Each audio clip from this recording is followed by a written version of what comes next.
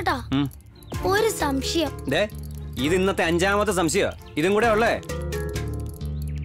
വയറിളക്കം പിടിച്ചെടുക്കാൻ എന്താ വഴി?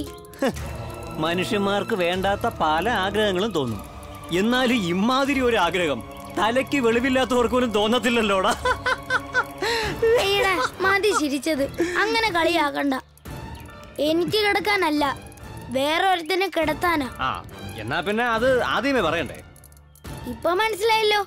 ഇനി പറ എന്താ വഴി? എടാ വയറിളക്കാനൊക്കെ ഇപ്പം മരുന്ന് കിട്ടും. മെഡിക്കൽ സ്റ്റോറിൽ പോയി കാര്യം പറയുക ഗുളിക വാങ്ങുക. എന്നിട്ട് രാത്രി അതും കഴിച്ച് വെള്ളവും കുടിച്ച് കിടക്കുക.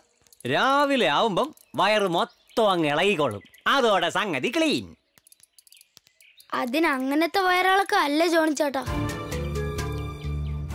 പിന്നെ? അതൊരു ഒന്നൊന്നര വയറിളക്കമായിരിക്കണം രണ്ട് ദിവസം. ടോയ്ലറ്റിൽ നിന്ന് ഇറങ്ങാൻ സമയം കിട്ടരുത്. ഓ അപ്പടിയാ? പിന്നല്ലാതെ എടാ എന്നാ പിന്നെ ആലോചിക്കാൻ എന്തിരിക്കുന്നു?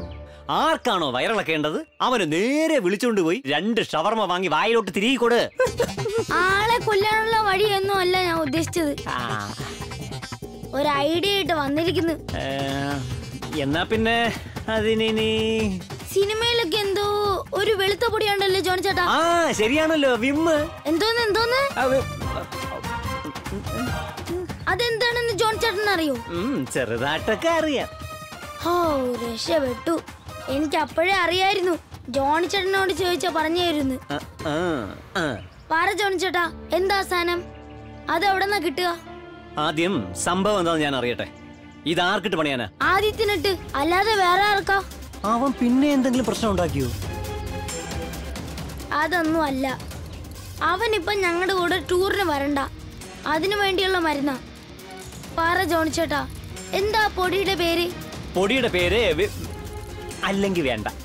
അത് നീ അറിയണ്ട. നീ അതറിഞ്ഞ ശരിയാവത്തില്ല. അതുകൊണ്ടാ. അതെന്താ?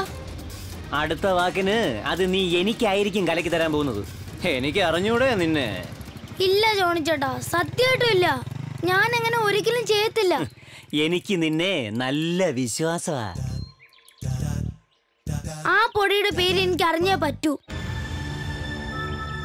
ആദ്യത്തിന് ഞങ്ങളുടെ ടൂറിൽ നിന്ന് ഒഴിവാക്കാൻ വേറൊരു വഴിയില്ലാത്തോണ്ടല്ലേ? ഒന്ന് സഹായിക്കൂ ജോണി ചേട്ടാ.